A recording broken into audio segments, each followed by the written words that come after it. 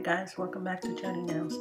Today's tutorial, sort of, is how I paint my nails, how I clean them up, and make them look like a pro. I mean, I try my best.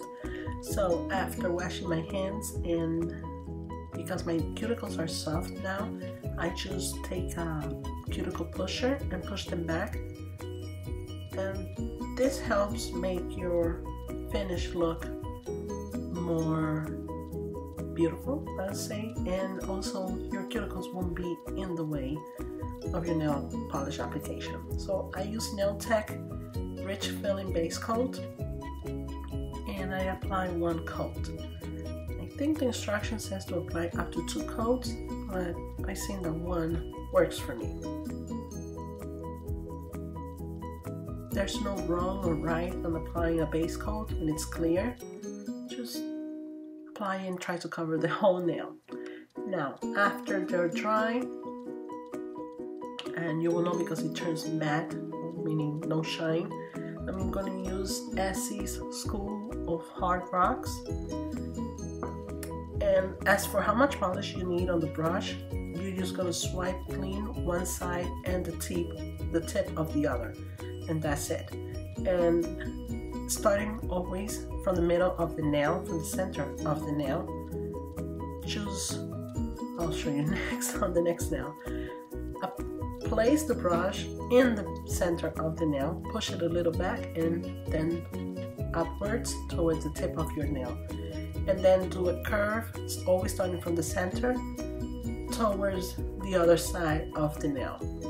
Again, middle, push a little back, forward, on the side, and again to the other side. Try to get as close as possible to your skin. Of course, not try not to get too much nail polish on your skin, or you can clean it up later. Don't worry about it. But that's the best way that I have seen instructions, tips on nail polish application, and it does really help. Also, having a good nail polish helps a lot.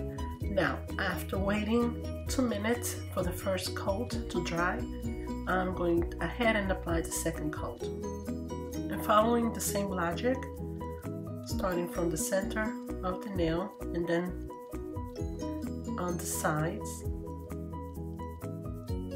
center towards close to the cuticle and then to the side again.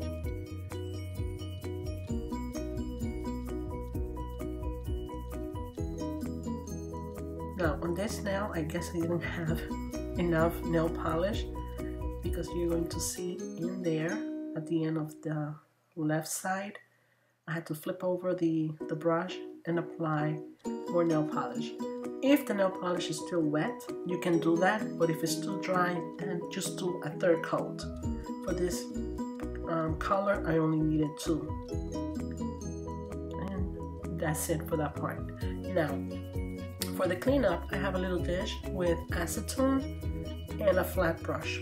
You can also use a angled brush, you know, the one that you use for your eyebrows or eye makeup or you can find a really cheap one at pharmacies up for a dollar. Or you can use something like this one but I think it will be more difficult.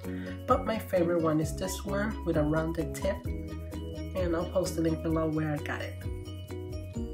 And also have a paper towel on the side so you can place the brush so it can soak up any excess of the acetone. And then proceed to clean up the sides of your nails.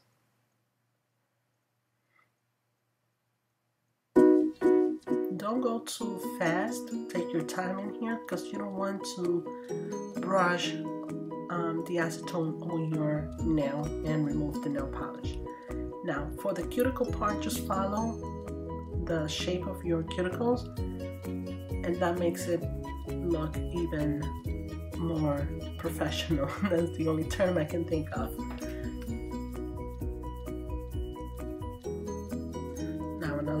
Shot a different angle here. Follow your natural curve in there on your cuticles. And it's okay if you didn't cover the whole nail. I mean, having a little bit like there, it's, it's perfectly normal. And after waiting for the second coat to dry a little bit after two minutes I just applied my second I'm sorry. My nail polish top coat. And that's it. That's the finished look. I really hope that it helps.